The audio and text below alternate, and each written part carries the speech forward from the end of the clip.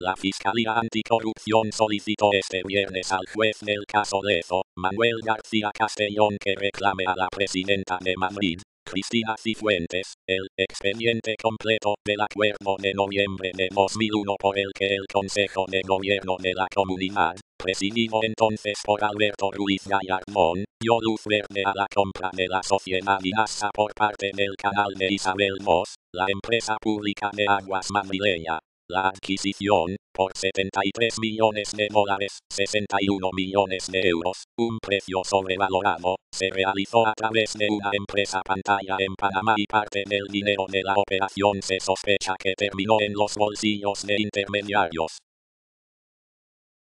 La Fiscalía quiere que Cifuentes, tal y como se le requirió en el pasado, entregue de forma urgente y en todo caso antes de 10 días la información completa que implica a su antecesor en el cargo. El Ministerio Público reclama, concretamente, que se identifique a todos los miembros del gobierno de la comunidad que aprobaron el acuerdo y el acta de esa sesión. Además, solicita una copia de toda la documentación con la que contaron los consejeros para valorar el visto bueno a la operación, que supuso un quebranto para las arcas públicas. La petición de la Fiscalía es un paso previo a la posible imputación de Ruiz Gallardón en el caso Lezo. El Ministerio Público recuerda que hasta ahora en el sumario no consta ni el acta de la sesión del Consejo de Gobierno que autorizó al canal la compra de INASA ni la documentación de la que dispusieron los consejeros para adoptar la decisión. Esta información, afirma la Fiscalía, resulta esencial para poder avanzar en la investigación y solicitar la declaración judicial de los miembros del Consejo de Gobierno de la Comunidad de Madrid que adoptaron ese acuerdo.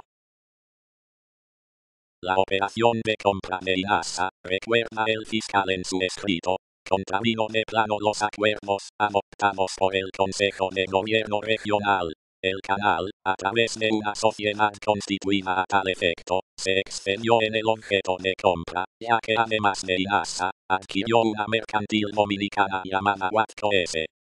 Además, la compra no fue directa, como se había autorizado, sino que se usó una sociedad interpuesta residenciada en Panamá, país considerado paraíso fiscal.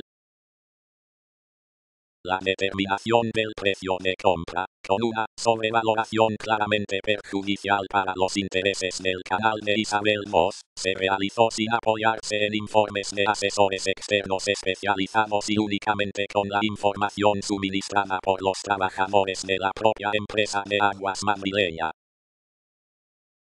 El pasado 17 de diciembre, Ruiz Gallardón rechazó cualquier tipo de irregularidad en la compra de IASA en la Comisión sobre Corrupción de la Asamblea de Madrid. El expresidente afirmó que la actuación fue legal y resultó beneficiosa para los madrileños. El exministro de Justicia manifestó entonces que nadie puede dudar de que fue una buena operación, que ha cosechado posteriormente un buen resultado. A día de hoy no encuentro ningún reproche, dijo.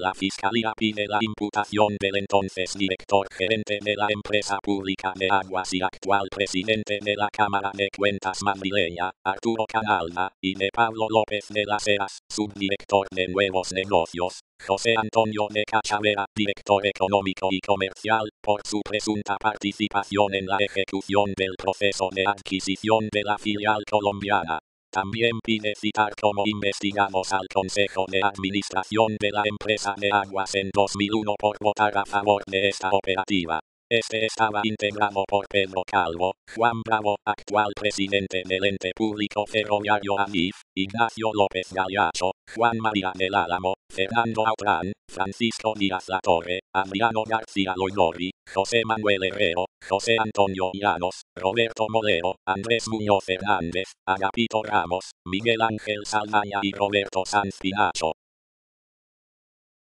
solicita que se investigue al ex consejero de Canal Extensia S.A. Gaspar Cienfuegos, por haber intervenido supuestamente en aspectos relevantes de la compra de la filial colombiana del canal y a Diego Fernando García Arias, vinculado a INASA en el momento que se concretó la operativa.